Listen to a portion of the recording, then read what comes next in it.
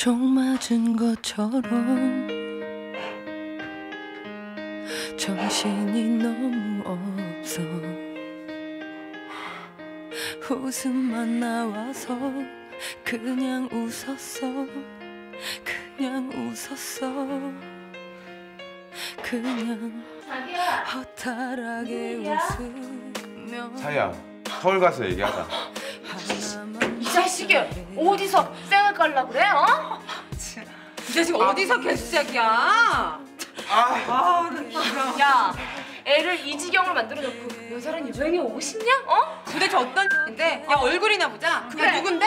도대체. 야 빨리 나와봐 야 추억이 흘러 넘쳐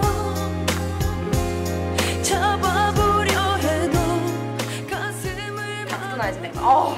손가락 사이로 뭐야? 자기야, 밥 먹으러 가자. 어머!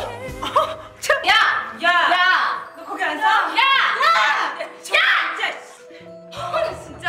야! 네가 그렇게 잘났어? 어? 네가 그렇게 잘났냐고. 어디서 당당한 척이야? 뭔데 네가? 야!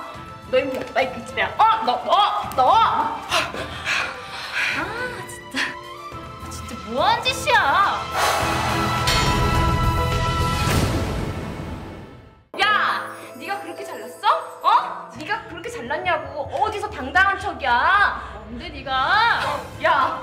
너 임마 나이 끝이야. 어? 너, 너, 너! 아, 진짜. 진짜 뭐한 짓이야? 총 맞은 것처럼 정말 가슴이 너무 아파 그래. 뭐 어리고 몸매 좋고 이쁘고 뭐 나쁘진 않네. 근데 너 사이가 너한테 얼마나 지극정성이었는데 그런 사이를 두고 네가 지금 바람을 펴? 네가 뭐 사이보다 능력 있고 괜찮은 여자 만날 수 있을 것 같아? 무슨 일 있으십니까? 아니 괜찮아. 무슨 일 있으시면 연락 주십시오, 대표님. 대표?